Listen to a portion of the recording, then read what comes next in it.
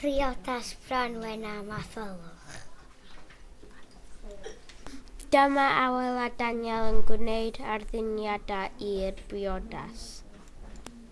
Mae Selen a Cathyn yn gosod cadeiriau i'r gwestai. Bydd James a Rory yn helpu i addurno yr ardd.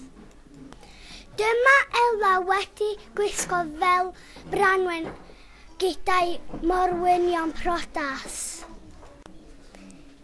Hw fydd mathylwch a Thomas Eiwas prodas.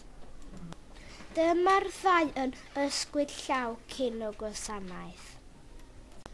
Mae Ela a'r mwynwynion yn mynd i'r gwasanaeth. Jack sydd yn chwarae rhan tad Branwen. Mae pawb yn edrych ar y briod ferchar a'i forwynion yn cyrraedd. Efan ydy'r ficer sydd yn priodi brawn am tholwch. Mae bendigeidran yn hapus yn gweld y gwasanaeth. Dyma Hyw yn rhoi y fodlu ar fus elan. Dyma Branwen a Matholwch gyda Bendigeidfran.